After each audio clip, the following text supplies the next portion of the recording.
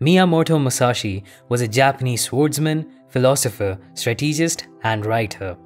He became renowned through stories of his unique double bladed swordsmanship and undefeated record in his 61 duels. Imagine fighting 61 times and winning every single time. This man was truly an immense warrior, and we can learn a lot from the way he lived his life and the principles he had. Now, luckily for us, towards the end of his life, he wrote the Dokkodo, The Way of Walking Alone, which are 21 guiding principles for life. Now I'm going to tell you these 21 rules, but keep in mind they're written by an actual samurai, so a lot of them may not make sense to us in our times. I'm also going to give you my take on these rules so you have a better understanding of how we can apply them in our life. Also, as you're going through the video, comment below your favorite rule and tell us why it stood out to you. I'd love to read your thoughts on it. Number 1. Accept everything just the way it is. For a warrior, it doesn't matter how the world is oriented around him, all he knows is that the world is the way it is. This kind of calm acceptance helps us a lot in life when we're going through our battles. Accept the way things are, don't resist against them, you're only wasting your energy. Number 2. Do not seek pleasure for its own sake. I'm sure if people like Musashi were alive today, they would be horrified at the way we live our lives. There is a certain honor in giving up pleasures for higher pursuits, and we have forgotten that in the modern world. If we just seek pleasure for its own sake, then something inside us starts to hollow out. Maybe that explains the rising popularity of movements like nofap, fasting, and dopamine detoxes. Number 3. Do not, under any circumstances, depend on a partial feeling. Partial feelings can lead to indecision, and indecision can kill you in a battle. Number 4. Think lightly of yourself and deeply of the world. As someone who's interested in philosophy, this is quite possibly my favorite out of these 21 rules. When you look around you, you'll see everyone busy on their phones trying to hype up their image on social media. We simply think too highly of ourselves. Instead of spending all this time thinking about us, we should spend that time thinking about the world. We'll learn much more when we do that. Number 5. Be detached from desire your whole life long. Desire is the cup that you can never fill. Once you achieve your desires, there will be even more to desire. If you detach from desire itself, you can discover real peace. Of course, when we're young and living in a materialistic world, it's hard to keep this in perspective, but this is a useful rule to remember. Number 6. Do not regret what you've done. Regret is poison. I'm sure you've heard that plenty of times. If you keep regretting everything you've done, you'll never be able to move forward. Moreover, you'll never stay present in the present moment. Number 7. Never be jealous. Comparison is the thief of joy. Don't be jealous of other people who you think have more than you, are more talented than you, etc. Walk on your own path. Number 8.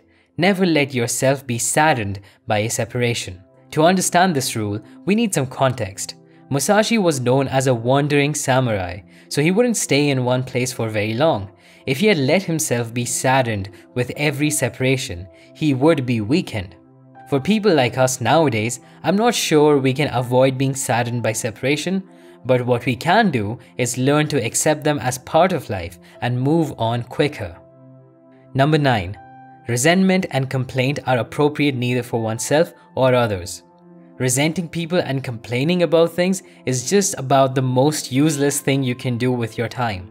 It changes absolutely nothing about your situation and makes you weak. Number 10. Do not let yourself be guided by the feeling of lust or love. Let's talk about lust first. Lust is almost always regarded as a lower vibration emotion by most spiritual traditions and religions. And yet, our society nowadays promotes lust more than anything else. The more you detach from lust, the better off you will be. On the other hand, I think love can be a very useful emotion for non-warriors like us, even though it may not be very rational. And that is why I think this point about love might be more relevant to a samurai or a soldier than the average person. Number 11. In all things, have no preferences. Have an open mind, be ready to try all things, and desire none. If you always act a certain way, you will never experience anything new. Number 12. be indifferent to where you live. Again, this might be more relevant to a wandering samurai, but there is something important here. A lot of us blame the place we live for lack of opportunities or other things, but more often in life, it's less about where you live and more about how you live that makes the difference. Number 13. Do not pursue the taste of good food. This is part of giving up desires. If you only chase the taste of good food, it's obvious you won't always be your healthiest. You should eat to nourish your body and fuel your body. Food should not be entertainment. Fasting really helps with resetting your taste buds and bringing the focus of food back to nutrition. Number 14.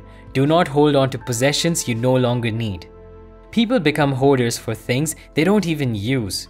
They make it a part of their identity and refuse to give up things they don't use. Let go of this need to hold on to things and be more minimalistic in terms of the things you own. I promise you, you'll feel lighter and better off if you do that. Number 15. Do not act following customary beliefs. Almost all great thinkers have always been independent thinkers. Don't be afraid to think on your own and come up with your own beliefs. There should be a reason on why you act on your beliefs, and that reason cannot simply be that everyone else is doing it. Number 16. Do not collect weapons or practice with weapons beyond what is useful. Of course, he was a samurai, so this makes sense. However, notice the second part of the rule. Don't practice with weapons beyond what is useful. I think this is the mindset of respecting weapons. Weapons are not playthings that you should wield for fun. Only practice so that you are proficient with your weapon and that's it. Number 17. Do not fear death. If you're afraid of death, you're not going to be a good warrior. A warrior who is afraid of death will never be able to give all of himself in a battle. But think about it more philosophically and you'll realize that everyone does die eventually. So what is the point of fearing death? Sure, don't go out there seeking death, but don't be afraid of it either. Be stoic about death, and paradoxically, it will make your life more enriching. Number 18. Do not seek to possess either goods or fiefs for your old age. You can collect a lot of things throughout your life, but what good will they do for you once you die? Now again, remember he was a wandering samurai, but even for normal people like us, this is a reminder to not be a consumer all the time, only possess and collect what is useful. Number 19. Respect Buddha and the gods without counting on their help. This rule is extremely powerful, and you can rephrase this as have faith but take action. I see a lot of people use their religion or law of attraction or whatever as an excuse to not do work. Respect your gods, but always count on yourself to fix anything in your life. If you always keep hoping and praying for the gods to intervene in your life, you will always be disappointed. Number 20, you may abandon your own body, but you must preserve your honor. Honor is the most important thing in a warrior's life, and nowadays we all can use more honorable people. Only do the things that you will be able to live with for the rest of your life. Your honor is your legacy, it is how people will remember you. A big reason why we remember people like Musashi is because of their honor. And number 21, never stray from the way. Never stray from the way of the warrior. Stay on your path and keep doing what you're meant to be doing. If you really stray from your path because of minor inconveniences, then did you really even have any conviction in what you were doing in the first place? So these were Musashi's 21 rules for life and if you want more practical and a modern spin on rules for life, I highly recommend you watch my video on Jordan Peterson's book 12 Rules for Life. That's all for now and thanks for watching.